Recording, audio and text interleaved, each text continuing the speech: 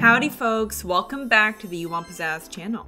We've got an awesome tutorial for you today. We're going to be learning how to create a mystery footprint animation in After Effects. Before we get started, I want you to download some assets in the description below.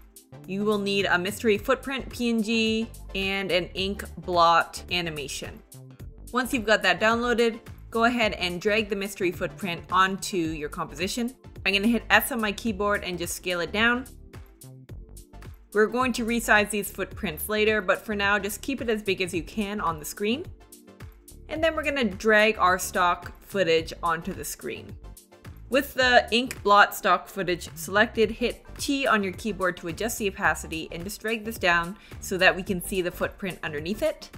And then drag your playhead across to see what is going to happen with the animation. Now we're going to use this ink reveal to animate the footprint so we want it to be the same length as the footprint. So I'm going to hit R on my keyboard to activate the rotation keyframes and just rotate it so that it covers the footprint completely. I'm just gonna move it over to around here. That looks great. At around two seconds, I'm just going to cut this layer and I can do that by hitting Command Shift D on my keyboard. For PC users, that is Control Shift D and go ahead and delete that second layer. I'm gonna hit T on my keyboard and just make the opacity back to 100. And then I'm gonna go into my effects and presets and search for Luma key because we're gonna key out this white background here.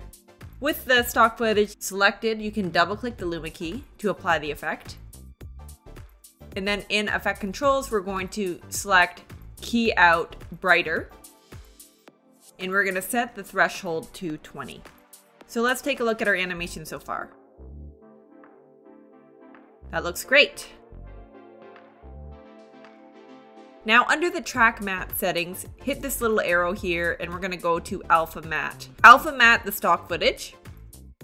Now if you hit play, you'll see that the ink blot reveals the footprint, which is exactly what we want. I'm going to select the mystery footprint and then again split the layer, Command Shift D, delete. And then I'm gonna copy these two layers by holding down Shift and then clicking both layers. I'm gonna hit Command C, Command V to copy and paste the layers. For PC users, that is Control C, Control V. And I'm gonna drag these layers across so that it lines up exactly with the second layer. And then we're going to remove the alpha matte for now. And we're gonna reverse the stock footage. And you can do that by right clicking the footage, going to time and time reverse. And then we're gonna alpha matte the stock footage again. Now let's take a look. So now the footprint animates on and off screen. Let's say we want to make this a little shorter. We can uh, drag this in a bit. Maybe let's make it around three seconds in total. I'm just gonna drag these layers in. Uh, drag them back a little more because we don't want them to cross over. Perfect. So something like this. Perfect. That looks great. Now we're going to comp this footprint. So I'm going to hit shift on my keyboard and select all these layers. I'm going to right click, select pre-compose, and then yep, make sure move alt attributes into the new composition is selected. We're going to call this footprint comp. Press OK. Now drag your playhead to the center of the screen to see the full footprint. We're going to hit S on our keyboard and scale it down and we're gonna hit R on our keyboard to rotate it. So right now we are displacing the footprints. We're going to take our selection tool and just drag it to the left side of the screen. And then we can just copy and paste the layer by hitting Command C, Command V, and just moving this across like this. Hit R.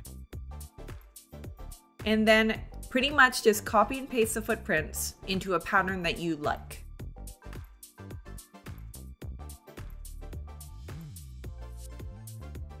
So once you have your footprints in a pattern that you like, we're going to stagger the footprints. So I'm just going to zoom in here. And then I'm going to go every five frames, I'm going to add another footprint and drag it like this. So 10 frames, drag it out.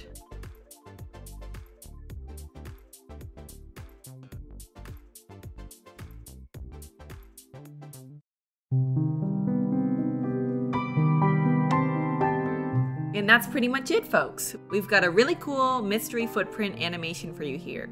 If you found this video helpful, please give this video a like and subscribe to the You Want Pizzazz channel for more videos. We do After Effects, Premiere Pro, and Photoshop tutorials. I hope you have an awesome rest of your day. I love you so much, and I'll see you later. Bye!